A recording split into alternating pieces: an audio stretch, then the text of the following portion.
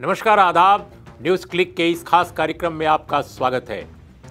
भारत में लोकसभा चुनाव की रणभेरी बच चुकी है। चुनाव की घोषणा ही नहीं हुई, कार्यक्रम विस्तृत घोषणा हो गई और ये जो कार्यक्रम है, अड़तीस दिनों तक मतदान फैला हुआ है। बहुत लंबा चुनाव है, लेकिन जितना लंबा ये चुनाव है, उससे ज़्यादा मैं समझता हूँ इसकी राजनीतिक महत्ता बहुत महत्वपूर्ण है।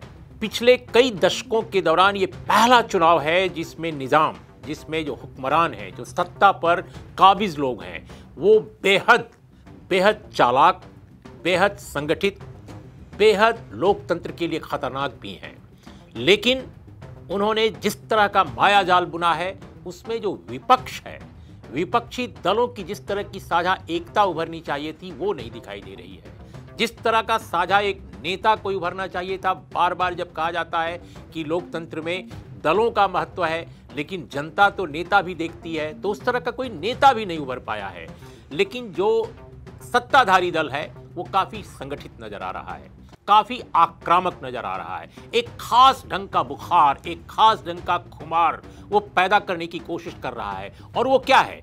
वो है जनता के असल सवालों से बिल्कुल जुदा, बिल्कुल अलग। जनता को ये बताने की कोशिश की जा रही है कि तुम अपने सवालों के बारे में मत सोचो कुछ ऐसे मसलों के बारे में सोचो जो सत्ताधारी दल के मौजूदा निज़ाम के गुब्बारे को और फुलाते हैं लेकिन जनता के जो जो मसले हैं जनता की जो ज़रूरतें हैं आवाम के जो इश्यूज़ हैं उनको पिचकाते हैं। तो ये एक अजीब तरह का सवाल है लेकिन इस सवाल इस इस चुनाव को अगर आप देखें तो इसमें एक, एक बात बड़ी दिलचस्प तस्वीर उभर के सामने आ रही है कि सत्ताधारी दल भले ही अपने नेता को एक महाबली के रूप में, अपराजय के रूप में पेश कर रहा है, विपक्ष के पास हो सकता है कि नेतृत्व के स्तर पर उस तरह की कोई स्थिति न हो, लेकिन जनता स्वयं चुनौती बन रही है निज़ाम के लिए। ये चुनाव मुझे ऐसा लगता है कि निज़ाम जो है और बनाम अवाम है, ये चुनाव एक सत्ताधारी दल के अपने आप को बहुत ताकतवर समझे जाने वाले नेता और बनाम जनता है। जनता हर जगह इकट्ठा हो रही है और खासकर जो उत्पीड़ित समाज के लोग हैं, जिनकी संख्या हमारे समाज में, हमारे देश में 80 परसेंट से भी ज़्यादा है, उन लोगों के बीच जिस तरह की एकता उभरती नज़र आ रही है, अभी हाल में ही रोस्टर का मसला आया था। लोगों ने किसी राजनीतिक दल ने आह्वान नहीं किया था। आम लोगों ने आह्वान किया, सोशल मीडिया के ज़रिए किया और सरकार को झुकने के लिए मजबूर कर दिया। उस रोस्टर पर अध्यादेश सरकार को लाना पड़ा। ये कमाल की बात है। ये पहले इस तरह की चीज़ें नहीं होती थी कि बगैर किसी राजनीतिक दल, बगैर किसी बड़े नेता के आह्वान के इस तरह का बंद होता हो और उसका प्रभाव भी पड़ता हो कस्बों, गाँवों और शहरों में। तो ये कुछ अलग अलग ढंग की घटनाएँ हो रही हैं। इस सत्ताधारी दल ने कोशिश की कि पुलवामा के आतंकी हमले, जिसमें पूरा देश सरकार के साथ था, पूरा देश सैन्य अपने बल हैं उनके साथ था। पूरा देश एकताबद्ध था कि आतंकी हमले को हम सब खारिज करते हैं।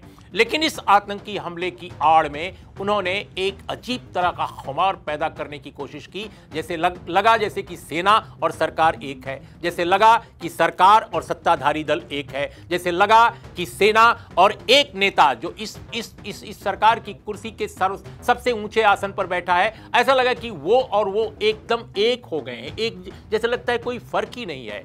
भारत सबका है भारत किसी एक नेता का नहीं है भारत किसी एक दल का नहीं है। मुझे लगता है कि यही एहसास लोगों का जो है आम जो पब्लिक में है, इसको ख़त्म करने की कोशिश की गई एक खुमार और एक बुखार से। और उस खुमार और बुखार को अगर हम गाँव में जाते हैं, कस्बों में जाते हैं, मैं हाल के दिनों में कुछ इलाकों में गया, मुझे लगा कि ये गुब्बारा फट गया है। लोगों को उनके रोज़गार के सवाल याद आ रहे हैं, लोगों को उनकी सेहत के सवाल नज़र आ रहे हैं, लोगों को किसानों के सवाल नज़र आ रहे हैं। लोगों को यह समझ में आ रहा है कि किस तरह सामाजिक न्याय के मसलों पर उन पर लगातार हमला हो रहा है।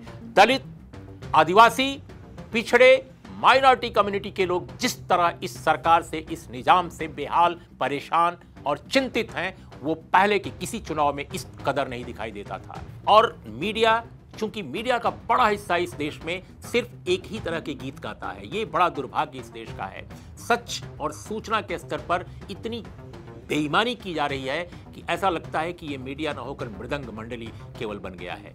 तो ऐसे दौर में ये लोगों को बताने की भी ज़रूरत है कि असल सवालों को ढकने के लिए ये महज एक आड़ है।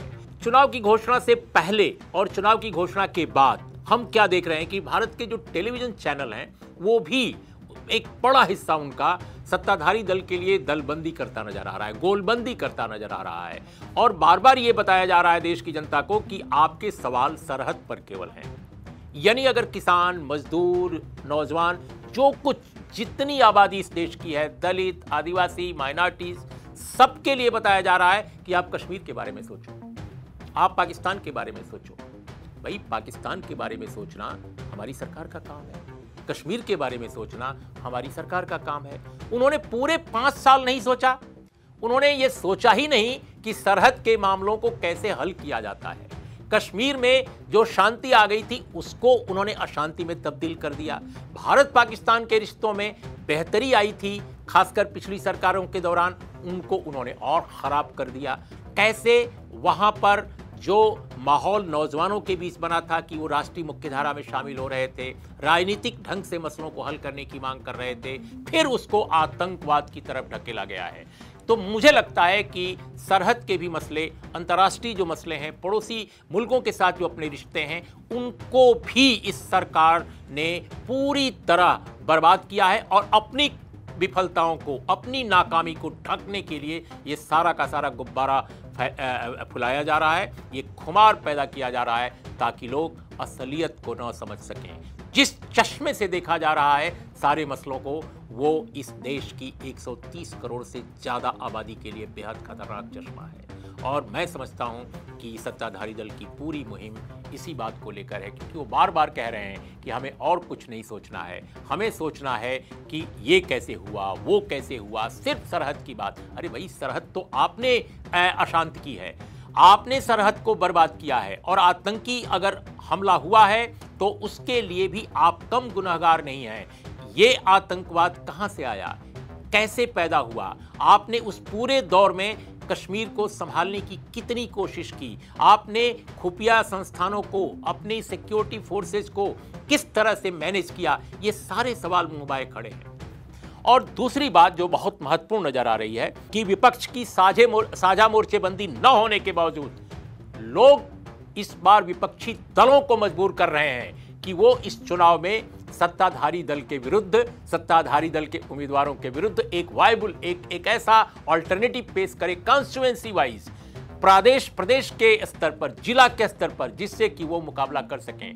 तो नेता कमज़ोर विपक्ष के पड़ रहे हैं। दल कमज़ोर दिखाई दे रहे हैं, लेकिन जनता उनको मजबूर कर रही है एकताबद्ध होने के लिए और मुकाबला करने के लिए। यह इस चुनाव की एक अजीब रंगत है, जो पहले की मैंने अनेक चुनाव कवर किए हैं अपने जीवन में, एक रिपोर्टर के तौर पे, एक जर्नलिस्ट के तौर पे। लेकिन ऐसा चुनाव नहीं देखा गया, जब विपक्ष के, विपक्ष की तरफ़ से बड़े अभियान न चलाए जा रहे हों, लेकिन जनता स्वयं अभियान चला रही है। जनता अपने हाथ में इनिशिएटिव जनता के हाथ में है। ये ज़रूर कहेंगे कि जिस तरह की स्थितियाँ इस वक्त हैं, विपक्ष कई बार बेवकूफाना अंदाज में भी सामने आ रहा है। अभी हाल ही में आम आदमी पार्टी के नेता, दिल्ली के मुख्यमंत्री अरविंद केजरीवाल, उन्होंने रमज़ान बना मतदान का एक एक एक एक एक बेवजह मसला उठाने की कोशिश की है। कई विपक्षी दल उनके समर्थन में आ गए, कईयों ने बयान दे दिया, लेकिन कितना शानदार जवाब हैदराबाद के सांसद, मुस्लिम सांसद ने दिया, जो एक दल के अध्यक्ष हैं। उन्होंने कहा कि रमज़ान में इस देश का मुसलमान हर काम करता है तो वो मतदान क्यों नहीं करेगा? वो मतदान में उसको क्या दिक्कत आएगी? और मैंने देखा सोशल मीडिया पर इस वक्त, वो सोशल मीडिया पर लगातार रिएक्शंस आ रहे हैं माइनॉरिटी कम्युनिटी के लोगों को कि उनको रमज़ान में हो रहे मतदान से कोई परेशानी नहीं है, वो जमकर मतदान करेंगे। तो ये जवाब कई बार मुझे लगता है कि जनता स्वयं नेताओं को करेक्ट कर रही है। उनको उनको सही रास्ता दिखा रही है कि असल सवालों पर सत्ताधारी दल को घेरो। ये जो बे, बेवजह के सवाल हैं, फिजूल के सवाल हैं, उन सवालों को उठाकर ध्रुवीकरण की राजनीति करने के लिए सत्ताधारी दल को किसी तरह का हथकंडा न मुहैया कराओ। मुझे लगता है इस मायने में भी ये चुनाव बहुत महत्वपूर्ण है कि वे नेता जो असल सवालों को उठाने से बचते हैं, उन पर भी दबाव है कि आप वास्तविक सवालों पर आइए, रोज़गार के सवाल पर आइए। आप इस सरकार की उन नीतियों पर घेरिए कि कैसे पाँच साल में स्वतंत्र जो हमारी स्वतंत्र न्यायपालिका है, जो हमारे हमारे हमारे जो निर्वाचन आयोग है, हमारी सीबीआई है, हमारे जितनी और संस्थाएँ, लोकतांत्रिक संस्थाएँ हैं, ईडी है सबको लेकर जो सवालात उठे हैं कि कैसे इनको पुख्ता किया जाए, इनको कमज़ोर ना होने दिया जाए।